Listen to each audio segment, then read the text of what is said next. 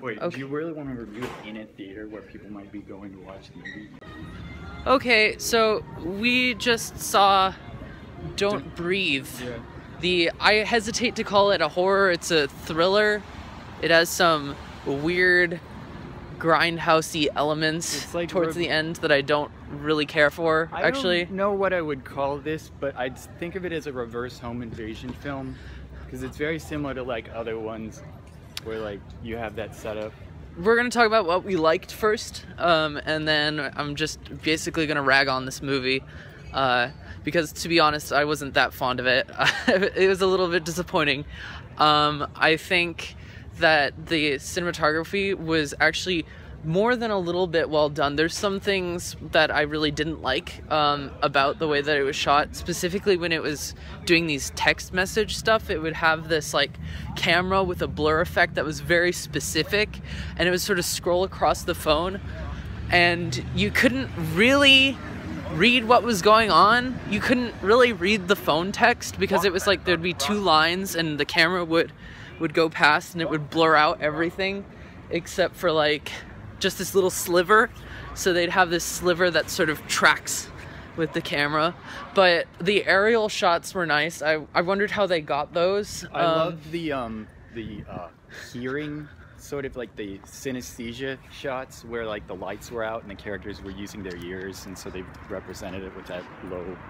You mean that where the cinematography would like fade to a gray? Yeah, like gray, and then anytime there was quiet, it would become muted into the background. That was that was neat. Yeah, I mean the gray filters were nice to communicate the and and obviously like the actors, I think that they filmed in darkness too because the actors were kind of very convincing in in being in the darkness and their eyes Their would eyes. just stare Yeah, I think like they literally which filmed is- with night vision. Because yeah they had to film with night vision Humans can't control their eyes that like that, like through acting. Um, I really liked the uh, the villains in terms of like, if you want to call them villains. I really liked the old man and like the way that they constructed him as like a, ki- like he was threatening in the way of like a, a classic villain from like a, a Silent Hill or something. I, I, n- uh, don't know. I thought he was uh, The no idea- not positive for the me the idea of his lack of um his lack of um complete information and the the, the sort of unpredictability of him was I, I at least I liked it and I thought his eyes were used well to sort of well him the the eyes effect. popped out which was really like it was because the the eyes on the the main old man guy were popping out because they were using contact lenses with very specific kinds so it's like the kind that you pop into your eye and then it makes the eye kind of puff out uh Well, I also liked the actual iris itself. I thought the design of the um I forget the the term for this, but the the the cataract or whatever that was in front of his uh, irises looked really cool. I like the dog. I like the way they used the dog and the puzzles that she had to solve involving the dog.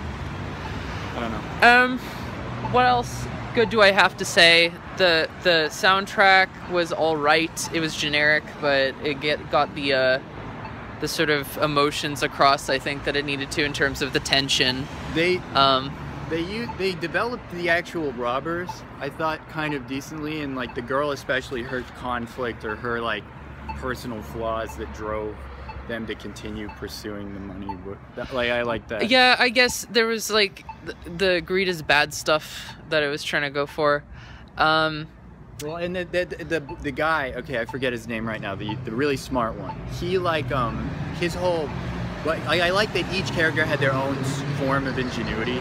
Honestly, if I was him, I would have just rang the fucking thing. Like yeah, I anyway, would- I like I thought he was fucking stupid for for not ringing the the alarm. I like think he was trying to be his one of his character traits was that he wanted to impress the girl. So like he was trying to get the money for the sister, and so he wasn't but giving up. I on just that. feel like there, it's there's no way in hell that I wouldn't have pressed that button Well, like would- a I million would- years ago. After the shit So- that they'd been through, I don't think the money was worth it. They can get money some other way, but I don't know. I but what I mean by him is not that he made smart personal life decisions, but that he had problem-solving skills It's that just distinct from it's the like ones that the other it's characters it's had. just really tiresome to see stupid fucking characters in a thriller horror thing, and it's like well, yeah, I wish I, I prefer horror movies where the character always does the smartest option You know? yeah, you really have to do the smartest option and then figure out. But of course, they check off. Okay, I'm gonna rag about it a little bit over here because they check Chekhov's gunned everything, like everything. Like the camera would, you'd oh, you'd be like, oh, that hammer, that's gonna be used because Well, the camera like lingers on it. lot of oh, that like that thing is gonna be like used, and it's But just like they got us used to it. They were also able to do a ton of misdirections over the course of the film. I wasn't ever misdirected. I was you know- like. did you know that he was going to use the the dead body? The dead. I actually did figure that out, and you did as well. We talked about that a little but bit. I was surprised that anyone else would think of that. Well, it was definitely Chekhov's I because he moved it, and I- so that was kind of like, I thought oh, the dog was going to die almost every time it showed up, and it still didn't. So I was I was at least. but that's not that's not the same thing. Like, Well, what I mean is, like, it's like the writers knew that we were expecting them to do this or that with that thing, and then just didn't do it because they knew that. the the the stupid insemination bullshit is like stupid as fuck. Well, I like the fact that it was at least like it Like- was at least different from some other movies. Like he was using like tools and he was using like a, sort of like a fucked up like amateur version of artificial insemination. Like at least it wasn't the generic. at least it wasn't rape. yeah, that well, basically like, it was like- rape. It's yeah. he it didn't use a penis. Oh yeah, it was. No, I'm not saying it wasn't. I'm saying it wasn't like typical like an, an a writer. is bullshit. A writer one level below wouldn't have thought to make it more different, is what I'm saying. It- it's it- more different from other things. it like, I've never seen a villain do that. It was before. gross and Oh, stupid yeah, and no, I'm not, fucking I'm- like. I'm, not disagreeing with you on that. I'm just saying It- it's a level above what I've seen in other movies. You know, I don't know. Like, if you involve like a pregnancy rape thing, it, like by your main villain, then you're just you've got run out of I was ideas. a little bit disappointed. You're fucking like uncreative as shit. I was a little bit disappointed because I thought that the idea was that he was trying to raise the um, the women that came into his like house as just replacements for the daughter themselves. I thought he was. That's what I thought too. I thought he was treating them like little girls, and they're like, "I'm gonna kill you," and he's like, "Eat your porridge," you know. But then it was. It actually wasn't that. It was. Yeah, something it, else. it was pretty fucking I was stupid. a little bit disappointed that they didn't The- try to go for something more. the- more. I, Different. I still think that it's weird that and this is like a detail and stuff but it's so weird that they came in at 2 a.m and then there was like bright sunshine coming through the windows and like don't deny that it wasn't sunshine because it's totally sunshine it was just like some sort of lack of detail or I something maybe the was a idea was, complete that they oversight. came in late at night, so late, like it was it was in the AM, right? So maybe they came in so late that the sun was able to come up while they were robbing the house. i just don't buy it because it wouldn't have taken them more than like like 20 or 30 minutes to get to the One point where the sun was is coming how out the guy woke up. So it would have been fast. like 2.30 either either they were looking for the money for a long time, and that's how come the guy was able to wake up from the No, the because they thought that it was behind the locked door, like immediately, and so they were just trying to break into that. So it was like, But I'm saying saying either they spent a lot of time searching through closets and stuff, or he woke up really fast and I have no idea how he did it and I don't know how the sun came up fast. But if it took them a long time to search for the money, then that would explain why the sun was able to come up. this, th- to me, this felt like a a better shot but worse movie than 10 Cloverfield Lane. It was basically just like a really terrible version of 10 Cloverfield Lane. I need to watch Lane. that movie because I still don't know anything about it, but Um, gonna choke now. Um, I will say, one of the reasons I watch horror movies is to see the victims or the protagonists try to get their way out of the situation and like the different solutions that they come up with. It's sort of like watching Sherlock Holmes un- or playing a puzzle game. Another thing I'm gonna rag about is the audio mixing completely was was just bad for this movie. It was good in the sense that that the sound effects were all high quality and all that sort of stuff, but the leveling on the breathing was ridiculous to the point where I was like, how the fuck is this guy not hearing them when the people are breathing like down the fucking mic? And it's just like it, it's it's insane how the the that they can have like th- someone deliberately is putting these sound effects in and they didn't think for a second like wow this is breaking suspension of disbelief on someone it's So, it's and the shoe smelling thing yeah, that was I- also I- fucking I- stupid. Why is he doing that? I didn't well it's like oh someone has some really nasty bunions. What, what And then- what I don't get is, so like, I thought the characters were already wearing shoes. Why did they have other shoes? well, I can't remember why they took them off. Um, But it looked like she had boots on when she was running around the house after she took those shoes off. I, I might be just confused and I thought socks were shoes or something, but I could have sworn the characters all had shoes on after that point. I like it when in horror movies they put a lot of thought into the ways that the characters solve problems. And I thought that this movie, despite the fact that the characters were really stupid, like horror movie, you know, greed causes you to make a mistake. You know, Jesus they had a Christ, lot of those problems. They they were pretty creative with the ways that they actually solved the physical situation and the physical, you know, puzzles. Like especially the girl, and I like the planning that the one guy had. Um, he, he his philosophy about robberies, where he did everything logistically, was nice because it differentiated him from money, like the other guy. well, uh, the The- the setup for that character. You remember when they broke into that rich person's house at the beginning? Was he like? Didn't he like do some douchey stuff out of nowhere? which, which was completely like counter to the character money, growth. Money was the one who was um, trashing the house. Money was the one trashing the house, and Yeah. not the guy like the other Money, guy. The, the the guy who was actually dating um, the main character girl. She um he was the one that was pissing on the floor Okay. and breaking things. The logistics guy didn't want to steal cash because it would change what kind of crime it was. He didn't want a gun. So you're I just missed that then And because was it was like I was writing some notes, but but and he even broke the window so that they would think it wasn't the security system at fault. but why it the fuck would he even get like pulled into doing this stuff in the first place? Because again, it seems really counter to his he, character. He was trying. One of the things about him was that he was always trying to impress uh, the main character, which I forget her name right now. It's like How did he even wind up like he was friends. with- interacting with her at all? As far as I know, he was friends with them. How old was she? Was she like she was a parent, but it was like she acted like a fucking She- teenager and looked No, like a thirty year old. That was her sister. That girl she was trying to help. I could have sworn that that was her sister. Is sister. Yeah. she I'm really confused about this the, character's the mother, age. The mother. Uh, I'm also confused about what the whose point of view we're actually following the film from, because it was like everyone's and yet no one's and there was the one guy who died really early on and he had like was a brief was- motivation that didn't pay off at all. he was the least main of the main characters. It was Yeah, but they even dedicated a scene to him, so why even do that?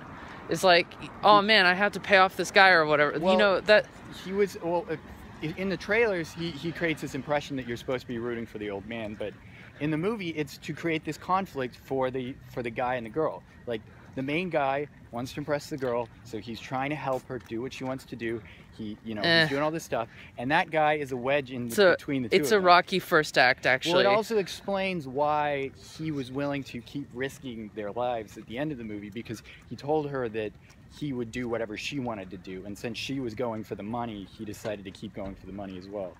Well, the reason why I think it's a rocky opening and like first act and stuff is because it's not like these some scenes could be cut or trimmed from even the opening to make way for like the important the more important two characters that were more like focused on the movie. The third character was literally just there to die and set the stakes. So it was like completely like worthless to even have a scene with him like establishing any kind of visual motivation. I guess, but it was like she. We want also to empathize with the fact that the girl cares about money. So, you know, like by getting to know him a little bit, it, it allows us to have some context for her relationship with him and why she's not just with the other guy from the start. You know, Eh. Yeah, I didn't we get why she was even with him at all. We were basically just seeing the end of those most of the characters. Yeah, I mean, we don't have to see everything, but it's just like they didn't. My opinion, they didn't do a good job leading into who they were. Well, I wish that. Uh, okay, I'm sorry I keep talking about money, but I wish that he had been less of like. it's so confusing because like money is actually like a plot point in the film. So money. Yeah, his name's money. She loves money. She loves money, and she loves money. yeah, exactly. She doesn't love money. She loves. She she loves the freedom that money gives her because it allows her to help her sister. But you know what I mean. Freedom, right? Yeah, because the money is the power I- to escape from her situation. That's a d- too deep for me way of looking at it, but Well, yeah. I'm It's not. I mean, I I'm thought just- she the- doesn't actually want to spend the money on The- anything for herself. the- she cares the- about nothing but the sister. it's just like I mean, do, do we know any possessions or worldly like interests she has? She doesn't besides like, like going to California and stuff. she wants to go to California to help her sister, and that's it. instead of Michigan. I would rather just go to California instead of Michigan. Does it's- Michigan like- have beaches? Michigan actually does because uh, it has the Great Lake, which is a really great swimming location and stuff. So anyway, um, you go surfing on a lake? I don't think you can. That's what she. That's what she wanted to do, the heist for, and why she didn't push the button was because Well, that she surfing. pushing- she's a, she's dreaming a little bit bigger than just leaving the mom. You see why I'm like this is so weak in some ways. Well, Uh, again, it's the the greed thing. It's like too much, right? She couldn't just stop it escaping with her life or escaping the, the mother. Yeah, she has yeah, to, but- like, but go all the way to I, California. I don't I don't like it. I don't I don't it doesn't ring well with me. It doesn't like Because, like, okay, I don't buy it. is We keep referring to this Ironically. theme of greed, but I definitely think it was almost going for a more simple pushing your luck. In Well, the the whole ladybug thing, I knew that was gonna happen. The ladybug thing because they set it up so deliberately. Well, it was like, like, is the ladybug gonna- even literally there? Or is it just her like mind? Like yeah, well, I don't know or care. it could just 'cause represent either way, the it says the that same she thing. realized she had an opportunity to. Yeah, no, go. it was like, oh, the spark of light in the darkest of times, which was uh, this movie followed the three act structure very, very like deliberately. Yeah, you could um, see you could see that going. It was like, oh, this is the dark moment, and then we're gonna have like the this uh this like the opportunity, the catalyst to reignite the hope and stuff. Know, I'm Um, glad the dog didn't die. I know I keep saying ta talking about the dog, but I just I was I'm so used to just animals dying in movies, and I was like, okay, I mean, I guess another good thing is that the performances were decent. They were yeah, good, right? I thought the performances were good. But um, um, the ladybug backstory was fucking bullshit. With, with like her being locked way? in a trunk and well, stuff by he- her it mother. connected to the fact For that she, hours? she used the car. She used the car later in, in a puzzle. I mean, like, like, trunk of the car. solitary confinement in a trunk. Oh well, yeah. Why I the fuck? I don't believe that a woman would treat her daughter that way just after. I mean, in a trunk too. Like, what? maybe the movie. The, You don't have some closet that you have a lock on or some shit? Maybe the writer was listening to old Eminem songs. Look, look. If idea. you if you want a solitary confinement your children, make sure you do it properly. None of this like half-ass like trunk stuff. You know what I'm saying? So, don't give people advice about how to do that.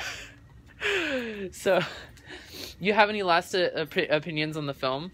As we Um, I thought it was it really was fond of some horror movie tropes that were really tired, and that there were some big problems with the uh, believability of certain character motivations. But I kind of enjoyed it for that whole, you know, gets your brain thinking, um, like literal situation type of horror. But I, I didn't think it was that deep.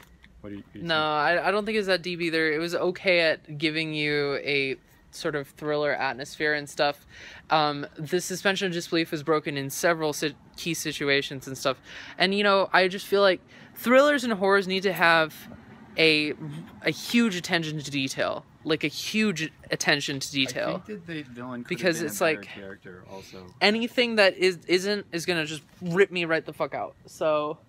And the the villain had a shit fucking motivation. I, I I imagined like when I saw the trailer him being like really sympathetic and that it was just like yeah, no, I was kind of like, I was like, this is really interesting because people are breaking into his house and he's in the right yeah it's here like he has the right in a weird way, even though he's being in overly violent. yeah but then So- it's like the movie kind of just made it out that he was just Yeah, I, guy. I almost would have liked to have seen more of a morally gray thing instead of just evil like rapist guy like thing. It's it, you know, it's like this there's a there is a decent movie like somewhere in this idea and it's like and the execution was was was good enough to the point where it's like if it had done a few things like differently and took out the fucking like stupid crap, then it would have been a pretty good movie. As as it stands, it's a little bit disappointing.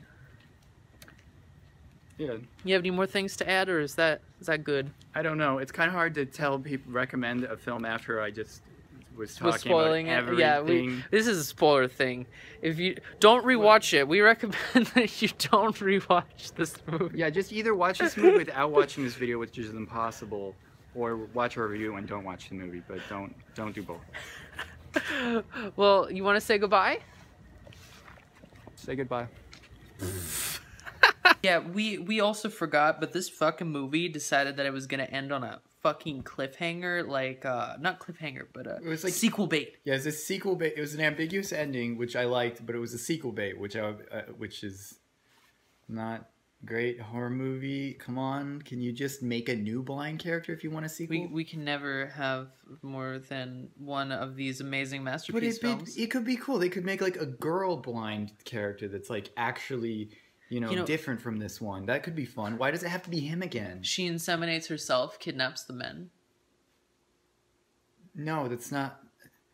You know, it sounds like a great time actually. No, I wouldn't watch that movie.